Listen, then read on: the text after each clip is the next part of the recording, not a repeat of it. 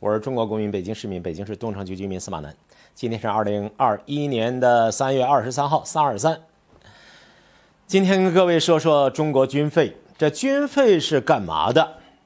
养兵的。养兵是干嘛的？准备用的。什么时候用？Someday。嗯，哼。昨天的消息大家注意到了没有？Someday 就有一天，保不齐什么时候，随时可用。养兵千日，用兵一时，就这意思。昨天消息大家看了没有？美国飞机侦察抵近中国侦察，抵近抵近抵近，不断抵近。昨天的消息是抵到最近，啊，又创抵近的记录。你说老是有人惦记你们家是吧？不怕贼偷，老怕怕贼惦记啊。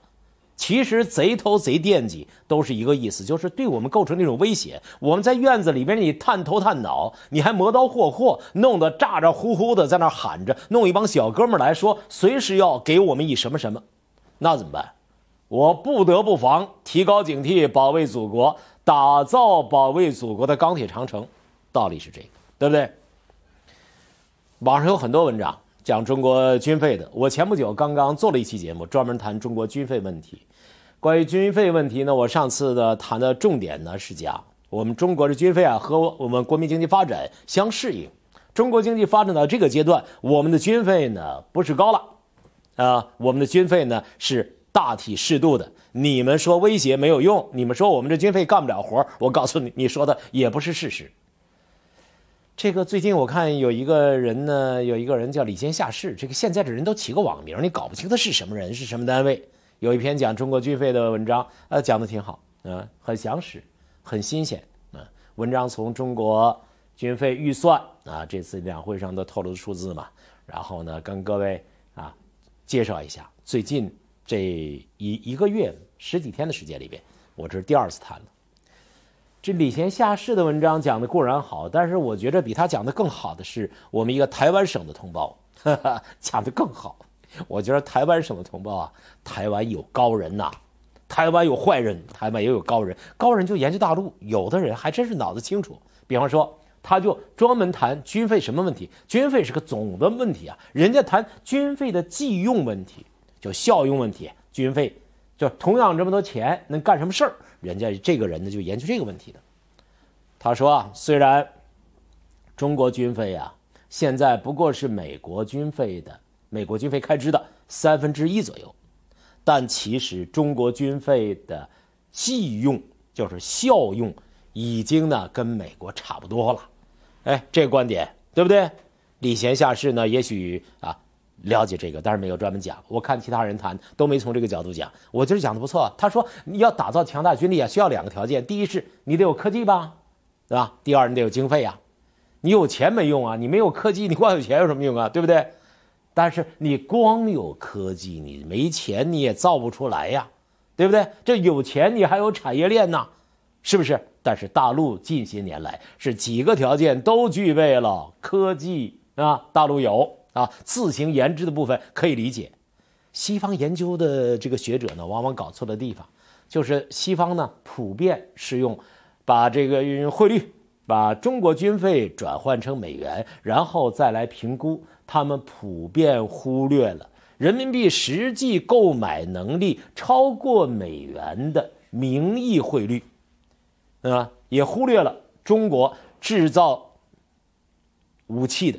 这个成本事实上远远低于美国的事实，这事儿其实是明摆着的，但是呢，台湾的研究人员认为美国人在这个事情上脑子犯糊涂，意思就是说，中共啊，共军呐，共军很厉害，共军一块钱顶你三块钱花，大概就这意思嘛，是吧？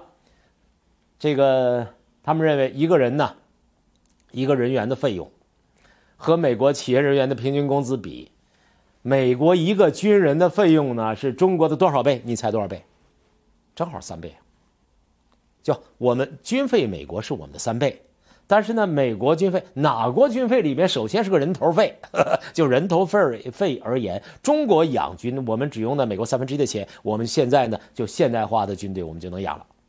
第二个是设备费用，美国这 F 二十二是啊二二十嗯 F 二十二吧，造价多少钱？两亿两点五亿美元。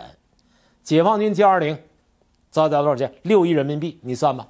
同样一笔金额，美国只能造一架高端的五代战战机，中国人呢，两架再饶半架，造两架半。所以，中国军费要扩大三倍，放大三倍。从这个角度，才能切入中国军力增长的这样的实际的情形。这个研究者他到底是出自什么样的目的这么说？那那我们不去管他。但是他说这个东西，我告诉你，他提供一个思考问题的很简单的方法。从经济学来说，就是人民币平价购买力，中国人。更省钱，能办事儿，所以呢，中国这些军费呢放大三倍，和美国人呢那那那那军费差不多。中国的军费呀，总共是多少？一万三千五百五十三亿元人民币。而人大给的那个数呢，是比上年增长百分之六点八。关于增长幅度的高低，大家说的太多了啊。这里边呢，有有有三个方面呢，需要把它廓清，理一理。第一呢。是这些年军费增长一直和经济增长的幅度相匹配，具有良好的可持续发展的态势，不是抽冷子、打摆子，不可持续的。今天上来，明天下去了，没有恒定的，因为经济一直在发展。第二呢，按照汇率计算，中国的军费啊总额已经达到了两千零九十亿美元，历史性的跨入了两千亿美元的门槛儿，仅次于美国。仅次于美国，但是还有一个数字，很多人没有注意，就我们只跟美国比，我们眼里就跟美国比。可是知道吗？我们与第三名的差距是多少？我们这个数是第三名的三倍。大概规律就是，我们的军费开支呢是美国的三分之一，但是我们和第三名的距离是，我们是第三名的军费的三倍啊，就这么一个，这个这个轮廓非常重要。第三呢，就是中国虽然军费总额呢，啊不到美国的三分之一，但是含金量却很高。这个说法和台湾研究者关于这个事情的说法是比较接近的，就是实际购买能力很强。这几年大量新式装备的年服役规模概念啊，年服役规模就是我们的装备一年能服役多少？什么概念？已经超过美国。这个地方当然应该鼓掌啊。我录节目的时候啊，小编扛着机器往那一放，说吧，他他都不看我，所以我常常觉得有些寂寞。这地方这要是锣鼓喧天，人山人海，讲到这儿来，下边不就得有点呼应啊？所以你自己把手机摔到地上来庆祝一下，你看好不好？如果有人这么干的话，我送你个礼物。美国二零二一年的军费预算是多少？是七千四百零五亿美元啊。七千多亿美元，我们是两两两千亿美元，我们刚突破，人家快八万亿美元啊。那与二零二零年度的七千三百八十亿美元，美国呢差不多，那差不多持平的。你疫情这么严重，经济衰退的背景下，美国呢维持这样一一个军费开支的水平，说明什么呀？说明美国人是太在乎这事儿了，说明美国印钞机维修的不错呀。效能不错啊，说明美国印钞机，嗷嗷大滚筒印刷机印的都冒烟了，哈哈，印的都冒烟 了。从二零二零年到到现在呢，美国 美国多这发票子嘛，村长打白条就印钞啊，超过六万亿的规模。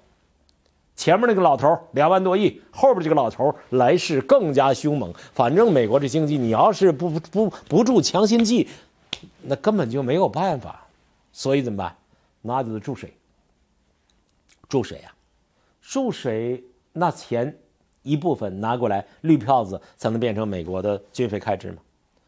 不过，即使这样，近年来中国和美国两国的军费开支啊，武器的实际的更新速度，美国并不比中国强。啊，只说武器啊，只是武器装备。因为军队的训练水平啊、战备状态呀、啊内软指标啊、呃战斗力啊，呃中国军队里边有一条绝对不如美国军队的，中国军队里面连牧师都没有啊，美国军队里有牧师，知道吧？美国军队这一条优势咱没有，咱们只有指导员。但是这些不不好比较，所以这些呢难以量化的东西，我们暂时的不不去管它。我们只说啊，军费使用效率这件事儿。军费使用效率这事儿，它和货币购买力呢因素影响很大。你美国呢用美元印钞机，那吐血加持。美国呢现在要维持这个军力，要继续增加，大量增加这个增量优势啊。美国其实还是有有点难处了，你要维持更多开支嘛，对吧？就算是你能把它打白条，打了白条就全世界收割韭菜，美国要追加更大量的经费，现在也不是闹着玩的。从二零一四年开始，我们国家每年军舰下水的吨位已经连续七年超过美国。如果我们下水军舰的吨位超过美国，那就是说。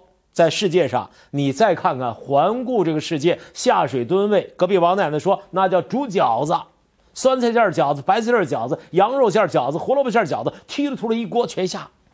那咱们家锅大，这饺子就是就是下的多，连续七年超过美国。有的年份呢，有的年份，我们甚至比美国那个规模啊，差多少？达到几倍的优势。要知道，但前几年我们的军费开支跟美国的差距比现在还要大，现在是人家三分之一，以前更大。所以你完全可以想象，“十四五”期间，就是从今年二零二一年到二零二五年，我们的现行的军费对比条件下，我们海军的新一轮的造舰狂潮将毫无悬念的、彻底的碾压、压倒美国海军。哎，有人会说你你你你这这这不是打草惊蛇吗？打打什么草惊什么蛇呀？这庸人自扰。你以为美国人什么不知道？美国人太知道了，美国人比你知道的清楚，知道吗？这我这全都是公开的数字，哪有一点秘密啊？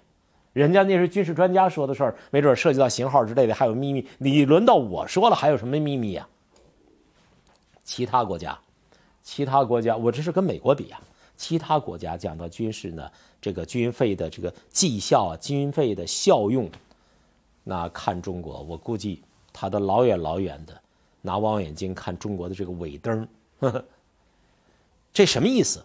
简单理解就是李云龙手下每个营都配意大利炮。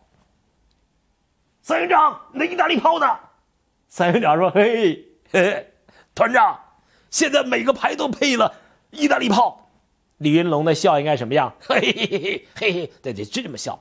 三营长，你他娘的意大利炮，那打急眼了，想起这炮来，太金贵了。现在李云龙团长，报告团长，不用喊了，意大利炮每个班都有标配。中国武器现在呢，中国军费开支现在给我们带来的豪迈就是这样。当然，当然，当然，必须得打任何话都有两面性。很多人认为你老说海军。中国人民解放军陆陆海空三军，现在还有火箭军呢，还有其他军种呢，对不对？单看一个军种，当然不能完全说明问题。毕竟，你你这事儿，美国，美国没有民用造船业，这很多人不知道的。美国就没有民用造船业，全都出去了，在韩国，在中国，在其他的国。在建造军舰的成本的分摊上，你美国跟中国呢民用造船业的规模。那你美国在这事情吃亏，这是站到美国角度来说问题的。那好，海军的事儿咱不说了。海军啊，海军司令部的同志对我不要有意见，我就不说了。现在我马上就说空军。你看空军装备，要论民航、民用航空业，美国厉害不厉害？厉害吧？你没有民用造船业，你美国的航民用航空业，全世界还有比美国更牛的吗？所以无论是技术啊，还是规模啊，美国绝对全球老大。空客也不要不服气。那成本分摊应该是不成问题吧？你应该便宜吧？你应该在军用军费的，至少在飞机、航空器以及和航空相关的武器的方面的研制方面，成本分摊你应该比中国强很多吧？表现出强劲的购买力的优势吧？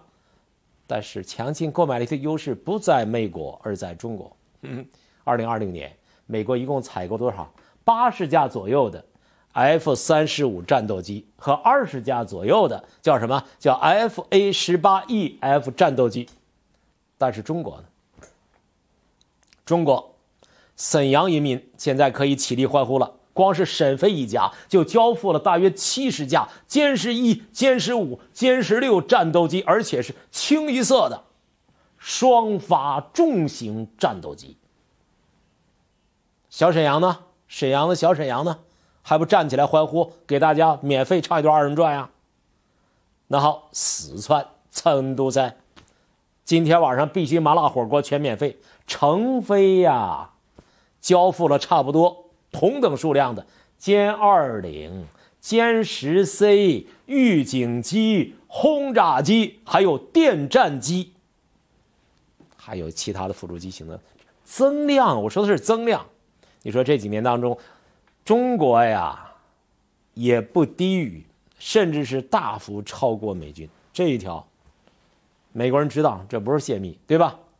这样的作战飞机的规模采购啊，采购规模这么一比。你你有谁能看出来双方的军费开支？中国跟美国有几倍差距吗？美国军费比我们多三倍，军费开支方面看上去差别不大，这究竟是为什么呢？为什么？咱咱一会儿再说啊，咱们再说再说陆军，啊，再说火箭军，要不然老觉得司马南对有的军种比较忽略，你也太自己当回事儿了，你忽略谁？我们的我们的这个装备的更新速度啊，现在稳居世界第一，现在是有目共睹的。火箭军、陆军也是一样啊。我小编老是说你一期不要说的时间太长，你你废话太多，那我就就就不说细细节不说了，先几关简要的说。再说一个，当然你不能否认的是，美军在海陆空装备方面人家有优势，人家原来东西多，原来东西多，原原来人家好好东西多呀，人家好东西存着呢，对不对？这叫什么呀？经济学叫存量优势，原来人家存货很多，对吧？中国方面就存量而言，我们是短板，人家是长板，对吧？比方说现在美国现役的核动力航母，美国多少艘？十一艘啊，我们只有两艘航母，还是常规动力的啊，滑跃式的航母。核潜艇，美国多少艘？美国六十八艘。哎，考你一下，你知道美国核动力这个核动力这个潜艇六十八艘，有多少艘上面艘上面发现了新冠肺炎病毒吗？你不知道吧？我也不知道。我知道他们闹过几艘。我，咱们国家有多少艘？我看报道说啊，二十几艘啊，二十几艘。那个人你相当于人家三分之一啊。所以呢，这些优势都是美国几十年前高额军费慢慢攒下来的。但是，美国现在的军费开支水平啊。要维持这么一大摊子家业，那用咱们用咱们这个小区里面的概念，物业公司概念，物业维修费，大修提成钱不够了，所以这楼玻璃坏，玻璃坏了咱换不了啊。你们家地板漏了，漏水了，房顶啊修不了了，没为什么？你现物业大大修基金，那物业维修费不够了，所以啊，中国军工部门。中国人民完全有能力、有信心，再用十来年的时间，对美国海军、对美国空军的存量优势开始逐渐反超。就是说，存量优势现在依然是你，但是中国有可能，我们慢慢、慢慢、慢慢的接近、赶上来，乃至出现反超。中国的军费开支只相当于美国的三分之一，但是呢，绩效会这么好，为什么会这样？首先。啊，要感谢呢，我们国家经济发展总量增长的前提下，然后呢，我们军费开支以百分之六的这样一个比例稳步增长，这是个大前提，经济发展嘛。其次呢，我们要感谢毛主席、周总理为我们打下那个底儿，独立的国民经济体系、工业体系，以及后来的我们装备业的水平，工业体系太重要了。第三，那就是全国一盘棋的分工协作体制。然后沈飞造什么，然后成飞造什么，这东西有分工的，非常重要。全国一盘棋的这样一个这个，我们过去的词儿，好多人都不喜欢，叫计划经济。计划没什么不好。邓小平说，计划什么？社会主义、资本主义都有计划啊，都有市场。全国一盘棋的分工协作体制非常重要，这保持强劲的军费的购军军费的购买力的水平啊，用更少的钱办更多的事儿，非常重要的方面。还有一个呢，就是。美国呀，虽然存量比较大，但是你也得注意一个问题，就是它那个存量，都是老玩意儿，冷战时期遗留的，当那当时跟苏联打仗准备用的是吧？还有，比方说里边有一些人，我是搞不清那里边具体内容啊。比如说那那那个大部分的四代机啊，啊，还有什么提康德罗的加级巡洋舰呐，洛杉矶级什么核巡洋舰呀，现在还有一大堆的名字，我我都说不上来。说这个东西啊，现在呢，现在你说能不能用？能用，但是在水面上飘着，那你就是靶子，你基本功能都不行呀，那怎么办？那就集中退役。现在是集中退役高峰期，但是都是美国存量优势当中的一部分。这东西你要打一个小国，没准呢就就富富富有余。但是你要说这个东西呢，准备在中国人面前比划，这东西最好别拿过来，没用啊，落后了，落后了。所以。现在中国对美国的这种的军力开展了一种的追赶的步伐，美国人感到一种压力是可以想象的。美国人听到身后传来急急忙忙的脚步声，哈哈哈，美国人要冒汗也是可以理解的。部队的战斗力，说到战斗力，首先是人，决定战争胜负的是人，而不是一两件新式武器。但是现代战争呢？这武器装备的重要性呢，变得越来越大。信息战争条件下，不是简单的比战船、比飞机，是全体系的作战、作战体系的对抗，还有战斗意志的培养。任何时候、任何情况下，我们要战胜一切敌人，而绝不被敌人所屈服的这种一往无前的精神，都是需要的。但是无论怎么说，中国的军费开始突破两千美元大关。中国的军费现在呢？钱花的少啊，办事效率这么高，那是令人高兴的。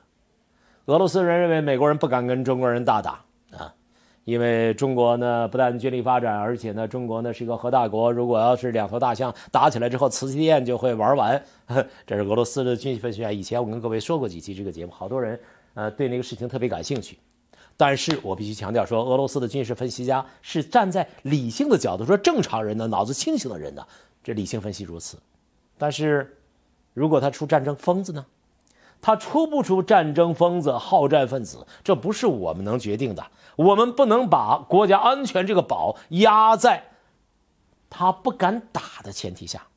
你只有准备战争，才能赢得和平；只有准备战争，才能赢得和平。所以，中国军费开支这件事儿，我本来要说，小编问我司马老师，这事儿敏感不敏感呀？